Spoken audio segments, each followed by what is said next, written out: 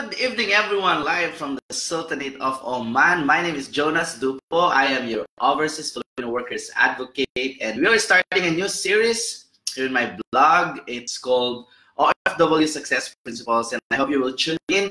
I'll be sharing lots of overseas Filipino workers success, success principles. Shout out to every OFW all over the world, sa mga followers mo natin and friends in Saudi Arabia, in uh, in the UAE, in Canada, and of course in Israel, and our friends here in the Sultanate of Oman. Are you ready to start our discussion for today? It's called OFW Success Principles. And the main aim and the main objective of this blog is to provide additional principles so that you will be guided in your steps as you pursue, as you work here overseas, or as you um, enjoy your life, your work here abroad. So number one is my the first ever principle that I want to share with you. A short principle. It's called start afraid. Start afraid. That's two words. Start afraid. I know that you you applied overseas, you work overseas because you have big dreams, and uh, there are bigger reasons. There are bigger whys why you left our country, why you left the Philippines. And a lot of people, a lot of OFW, maybe their main reason is because they want to build their, dreams. Maybe they want to build a house.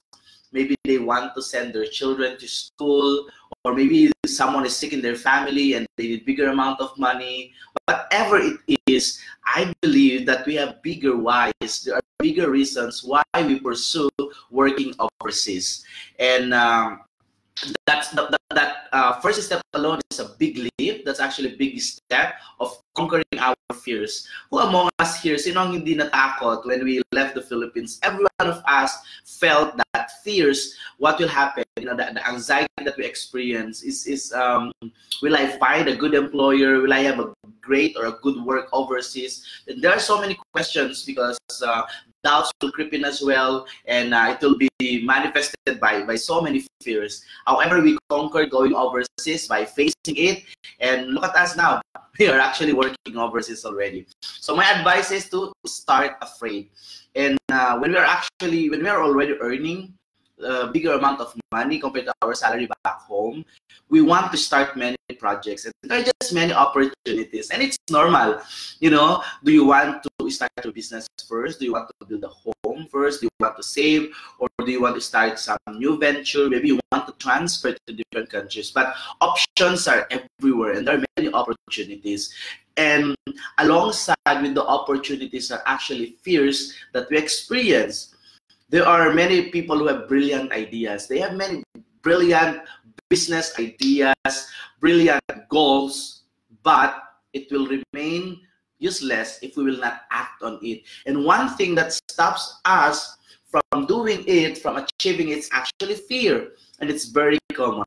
That's why my advice is start afraid, start weak. Even if you're afraid, do it and that's the only way that you will get results because if you will stay with your fears you control you allow your fears to control you you will not start anything i always um i always share it and i love it i love this topic that says um, years from now you will not regret on the things that you did and actually not succeed but you will regret on the things that you plan to do, but you never had the chance to do it. So my advice to you now is to do it, even if it's difficult, even if you think you have less resources, just do it. Because along the way, once uh, you have a calculated risks, once uh, you couple it with faith, and of course with hard work, you can definitely achieve something. So the first under this first principle start afraid i want to share a few thoughts number one is fear will always be there. No matter what you do, you will never reach a certain confidence that all is well. That you think what you are doing, that you're doing is mostly without any fear, without any um, doubt. Fear will, all, fear will always be there. Even the most successful people, when they want to pursue something and try to talk to them, there is always that fear. Even you know, even public speakers when they stand in front, fear is always there and it will never leave us.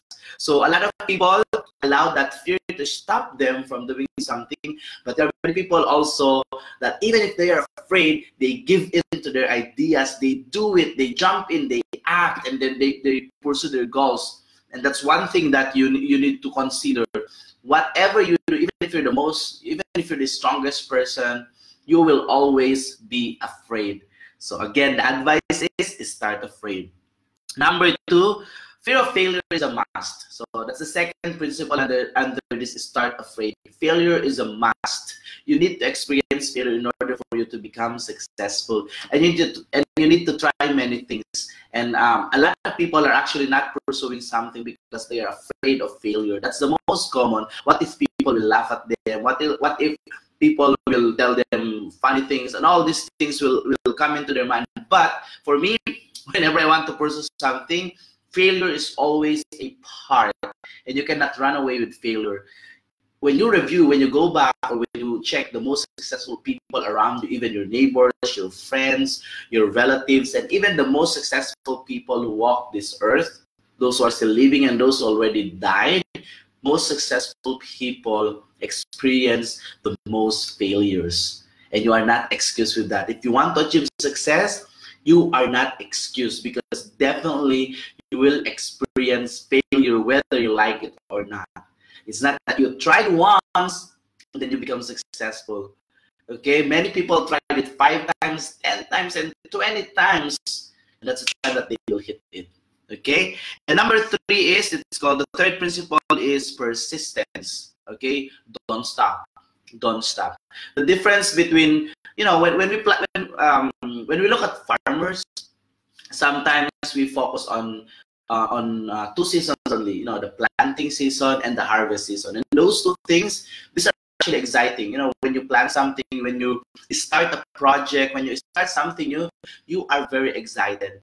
And during harvest time as well, of course, when you see that what you have uh, given out, the efforts that you have uh, delivered is actually gaining something, you are harvesting something, you are earning money, that's also exciting. But in between those two things, planting and harvesting time, this, the in between is the growing time. That's the growing season. And it will speak bigger things about your success. Okay, you can start a project okay, and wait for the harvest time. But in between, there's one crucial thing that you need to consider, and that's growing time, and it's called persistence. Are you willing to experience failure? Are you are you willing to experience being laughed at, even if you are not producing results yet? But God will bless those who are persistent. If you will not stop because you want that thing, you want to do it, you want to achieve it, then definitely one day you will reach to your destination, enjoying your success and living the life that you always, always dream of. Even if you're afraid, do it. Even if you think you're weak, do it. Even if you think you will fail, do it. That's experience. In our lives, in, in any in in our lives in pursuing something there are only two types of persons and number one is we have the winners they hit their targets and number two we have the learners remember this. Fellow OFW there are no losers. There are only winners and there are learners. If you win then good for you. Good job. If you fail you did not hit your target then take the lessons. Okay you're still you know when you when you look at it in a deeper perspective you're still you are still a winner because you learn something and that's the most important thing in our journey so i advise everyone if you want to pursue something start small start afraid then uh, just uh, have that faith to god wala pong um, there's not no plans to flourish or to, to water if you will not plant anything. God will only give so much of His mercy and His glory if you started something.